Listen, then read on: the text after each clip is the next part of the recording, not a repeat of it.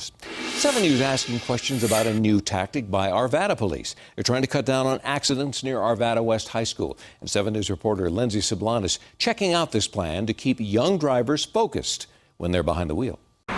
During the day, the streets around Arvada West High School are quiet. Cars fill the parking lot and side streets. But this map shows from mid March to mid April this year, there were five accidents at an intersection near the school.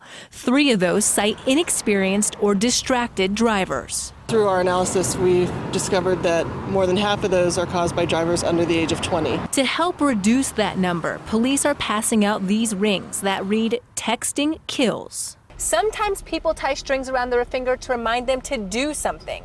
This is to remind students not to do something. I don't think it would necessarily stop them, but I hope it makes them think twice. Senior Nicole Burkhalter says she doesn't text behind the wheel because she doesn't want to be part of the statistics. She's helping launch this campaign with police September 12th during the high school's homecoming pep rally. I went to a, a program last year that was focused a lot on preventing trauma in youth when they're driving. And it just really inspired me to do more.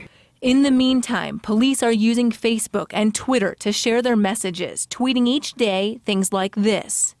They hope this new approach will get through to teens. It's different, it's unique, and kids might actually um, pay attention to it.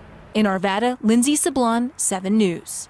Since initiating this campaign, Arvada, Arvada, PD has ordered another 5,000 rings in blue to pass out to the three other high schools in the city. The police department's outreach budget is covering the cost of those.